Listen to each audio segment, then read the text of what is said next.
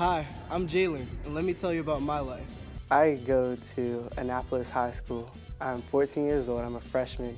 I'm representing Admiral Oaks Boys and Girls Club because I went there for teen camp. Well, my brother went to the Boys and Girls Club. He is 23 years old now, but back in high school he went here and he told me all about it. It's fun. He played basketball with his friends. I met all his friends and I was just very excited to come here. The club has impacted me by introducing me to diversity.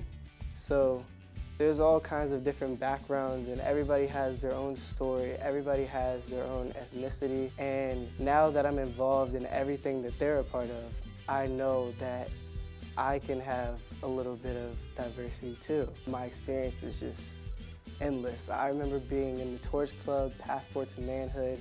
We took plenty of field trips and summer camp was just a blast because all my friends were there. We played on the computers here. We played Xbox, PlayStation 4, all the things that we kids might not have at home, but they were still here.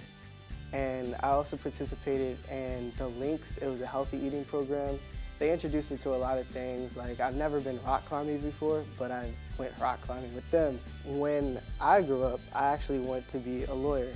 And in the club, there, actually I want to be a lawyer and a judge, but within the club, there are a lot of kids.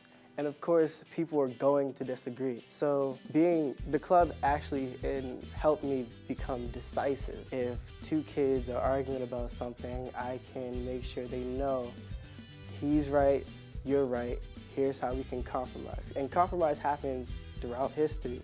And that's how people can join together and that's how people can relax sometimes and stop the conflict. My personal brand is, it is one thing to care about the lives of others, but it's another thing to care about how they're lived.